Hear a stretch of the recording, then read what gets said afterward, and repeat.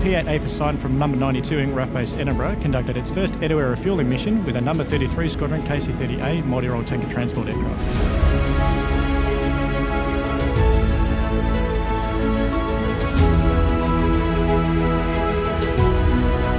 As captain of the P8 for the milestone flight, I was incredibly proud to play a part in this mission and operate with such an effective and focused team.